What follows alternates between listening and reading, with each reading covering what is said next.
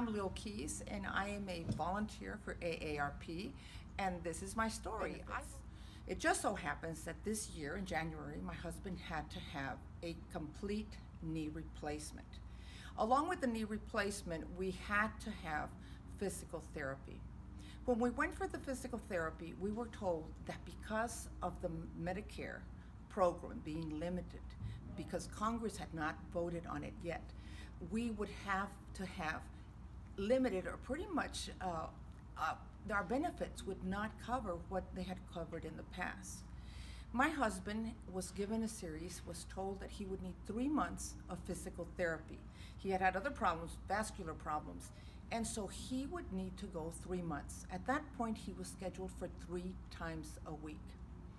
Because of the uncertainty of the legislature and Medicare, this program, uh, he was immediately limited to two times a week.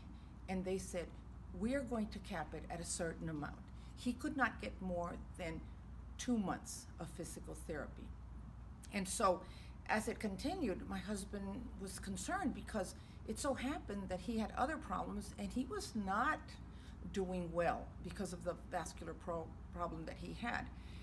And we were told, well, I am so sorry, we're going to have to talk to the money manager at the practice.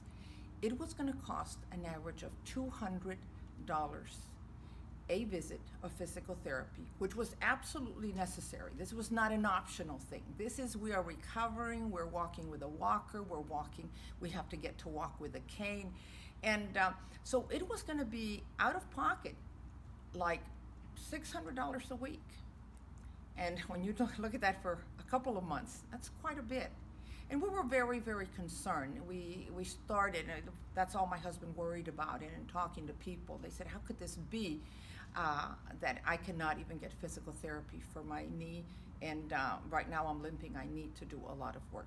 As it was, when we had to meet with the money manager, the legislature had passed and they had extended the time that benefits were given for physical therapy, and he is currently still continuing with physical therapy. He's out of a walker and now he's with a, with a uh, cane, and all is going well. And we are certainly, certainly grateful to AARP, a program that we've supported for a long time, uh, because it certainly did save us. Uh, and as, at this time, both of us are retired, and of course, you don't count on extra expenses like this, when in the past we were pretty much guaranteed uh, that he could get his knee taken care of. So all is well, and thank you, AARP, and we hope that you continue to work for people like us.